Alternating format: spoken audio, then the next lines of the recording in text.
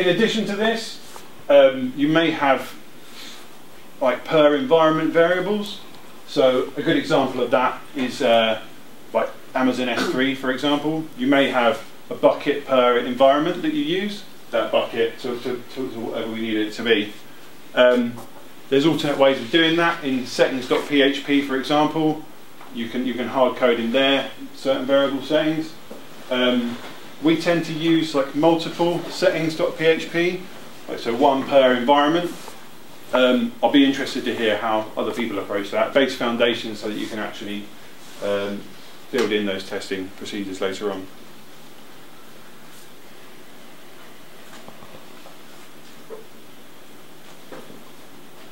Um, obviously, this you know it's not it's not necessarily ideal the way that uh, features and StrongArm and the module support that exists for them at the moment. It's not necessarily ideal.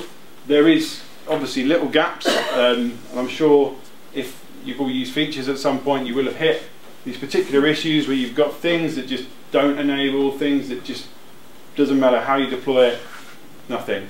A good example of that I can never get a panel to enable whenever I deploy the panel's configuration. Uh, so what you have to do in those cases is obviously write your kind of update hooks in your custom modules, or maybe even in that master dependency module that, that, that, that I was discussing earlier, in your hook enable, you could have something which you know you're going to always have to do on every deployment. Um, so you've got those update hooks which you can use in addition, or those enable hooks that you can use in addition. Um, again, yes, the environment, the environment specific variables. Um, also, and, and this is going to happen more and more, soft configuration. And what I mean by soft configuration is clients who know enough to be dangerous.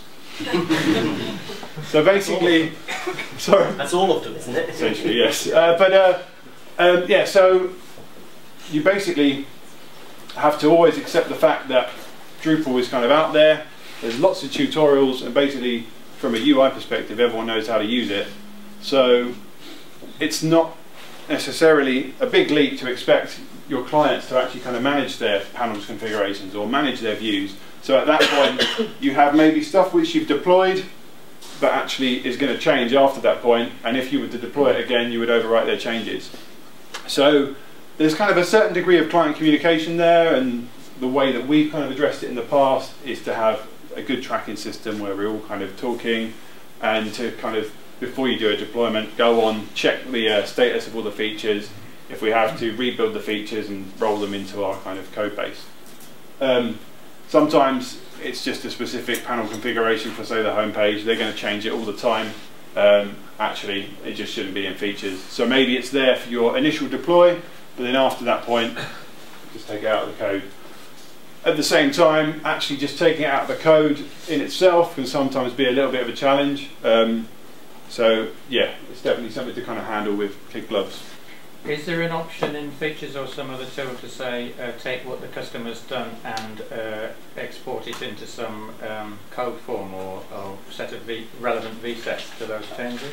Yeah, so so um, in in the UI at least, um, and you could probably do this on a live environment. Um, uh, you can basically use the UI to just download the feature um, with whatever changes are in it at the time. So that's how at least I would approach it. I know the client's changed a certain view on the production site, so I go to the feature where they've changed it. I can see the uh, in individual elements that they've changed and then download that feature and then just take that kind of code and drop it back into my development environment, commit it, and then push it back up. Um, from a debugging perspective, um, there's a couple of modules which, which we use, uh, features overrides, um, and essentially that, that will clearly give you um, an example in the UI of what specific things have been changed. Um, one thing that sometimes happens, and I'm sure you've all seen this, features say that they're overridden, but actually you know, they're, they're, not overridden.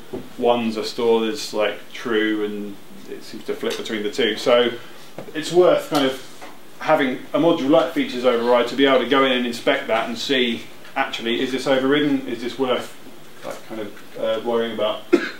And then in other situations, you may have to just literally get into that feature, start chopping out chunks of it. Um, so it's worth kind of becoming uh, familiar with, with how the kind of CTools exportables work and kind of how uh, a views array is kind of put together, for, for example.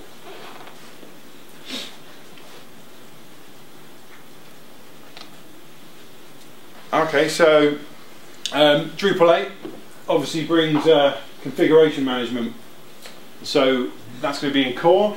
And that kind of changes a lot of what I'm kind of talking about here in terms of kind of using features in StrongArm. I'm told you can use the two alongside each other. Um, not that I've successfully got that to work yet. And uh, the backported version of configuration, I'm not sure, has, has anyone else used the backported version of configuration yet? No? Okay, so um, I've, I've tried it out myself and was hoping to kind of build the next project kind of using configuration, but from, from what I can tell so far, it's still kind of early days.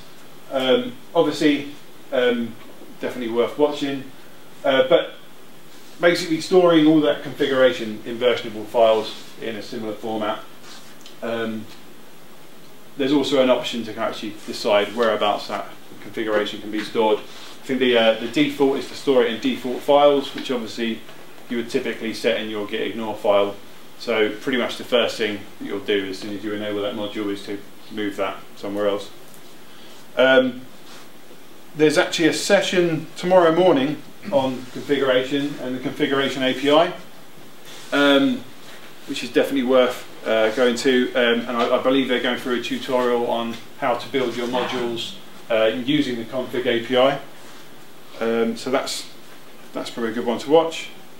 So uh, in conclusion, um, yeah, basically, I hope I've kind of covered at least a kind of intermediate, kind of middle ground that doesn't take you through to kind of doing necessarily full drush makes and install profiles and distributions, but isn't kind of right right down there and just FTPing stuff around. So um, this this method has definitely worked for us. Uh, it's just meant that we can kind of deploy our code quickly and essentially it's meant that we've had happy customers, um, we've been able to version our site configuration, we've been able to have predictable results, uh, we've been able to do those regular site updates as soon as there was a security issue, and yeah, we've had happy clients as a result.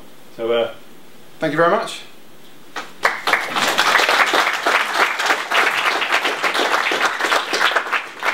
Um, any questions? Um, I've had things like content types and stuff like that stored in features, and then mm -hmm. I'll turn off the feature because I think don't need that anymore.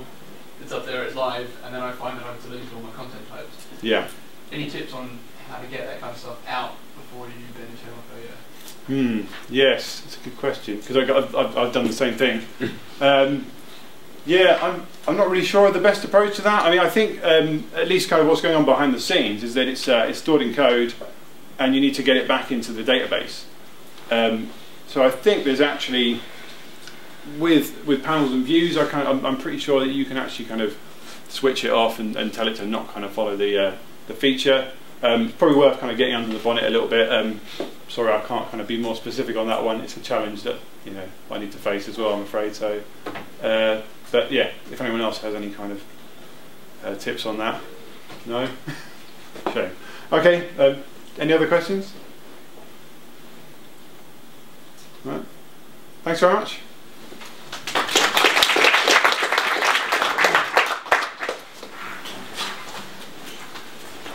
Are these slides going to be available? Uh, yes, um, I believe so.